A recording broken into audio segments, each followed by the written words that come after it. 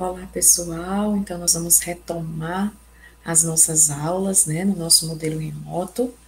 É, nas nossas últimas aulas, nós vimos alguns conteúdos muito importantes, né? Nós vimos o conto, conhecemos um conto é, chamado Fita Verde no Cabelo, de João Guimarães Rosa. Lemos também Machado de Assis, com o conto A Cartomante. É, vimos também alguns elementos das narrativas, né? conhecemos tipos de linguagem, como a linguagem conotativa e a linguagem denotativa, e terminamos com a variação linguística, conhecendo o que é registro formal e formal, e conhecendo também o que é um preconceito linguístico. Né? Então, todos esses conteúdos foram vistos né, durante esses dois meses de novembro e dezembro. Então, iniciamos mais uma etapa, que é a nossa etapa final, que vai ser uma etapa muito corrida, mas que é, eu, junto com as residentes, preparamos excelentes conteúdos para vocês, né? Vocês vão adorar os conteúdos de língua portuguesa e vamos refletir um pouco o que é a leitura, né? Você gosta de ler? Nós não podemos nos taxar como estudantes que detestam a leitura. Não é verdade isso? Todos nós gostamos de ler algum tipo de leitura. Alguns gostam de ler revista em quadrinhos. Outros gostam de ler uma leitura mais histórica. Outros gostam de ler uma leitura mais voltada para os números. Então, tudo isso é uma leitura que nós vamos fazendo. Então, a leitura em si, ela é muito importante, né? Ela é muito importante como a escrita também, mas são dois aspectos bem diferentes, são dois hábitos, né, bem diferentes. Tanto a leitura como a escrita se complementam, é verdade, mas cada um tem a sua importância, certo? Então, eu preparei para vocês, na lista de presença, vocês têm um conto que vocês lerão. O nome desse conto é Felicidade Clandestina de Clarice Lispector.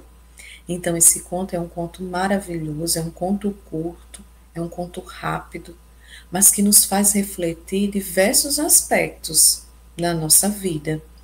É, o conto ele retrata a história de uma menina que adora ler, que adora livros, né? Ela gosta de ler, ela gosta dos livros e ela faz amizade com uma garota que o pai dessa menina é ele é dono de uma livraria. Então, imagine aí, para quem gosta de ler e ser amiga de alguém, né, que o pai é dono de uma livraria, então isso seria tudo.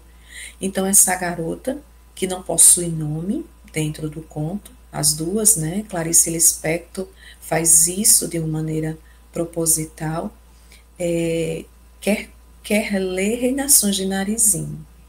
Então, ela consegue esse livro, né, com essa garota, que eu não vou dizer como ela conseguiu, vocês vão ler o conto, né? Então, Clarice Lispector, ela rasga o seu coração dentro desse conto. Então, ela é uma autora muito subjetiva, né? Uma, uma autora que traz para o leitor marcas da sua realidade.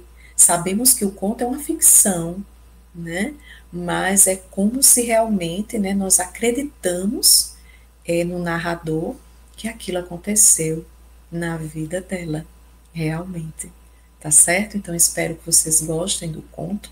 Vou ler só um trechinho, só para deixar com água na boca. Vamos lá.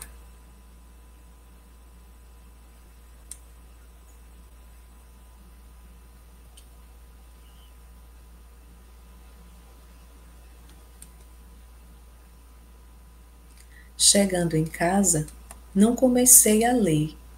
Fingia que não tinha, só para depois ter o susto de o ter. Horas depois abri-o, li algumas linhas maravilhosas, fechei-o de novo, fui passear pela casa. Adiei ainda mais indo comer pão com manteiga. Fingi que não sabia onde guardava o livro. Achava-o, abria-o, por alguns instantes. criava as mais falsas dificuldades para aquela coisa clandestina que era a felicidade. A felicidade sempre iria ser clandestina para mim. Parece que eu já pressentia. Como demorei, eu vivia no ar, havia orgulho e pudor em mim. Eu era uma rainha delicada. Então percebam que Clarice Lispector aí de uma maneira bem subjetiva rasga o coração dela, né, falando dessa felicidade que para ela seria clandestina, ela vivia essa felicidade às escondidas. Então no conto há uma mistura aí de aspectos fictícios, mas também de aspectos reais, de sentimentos reais, né, vividos pela, pela autora certo? Então, leiam o conto e respondam a perguntinha lá que tem no, no Google Forms, né? Perguntando o que o conto provocou, né, em você, certo? Então, estamos por, por aqui, estamos aqui para tirar qualquer dúvida, ok? Então, retomemos. Tchau, bons estudos.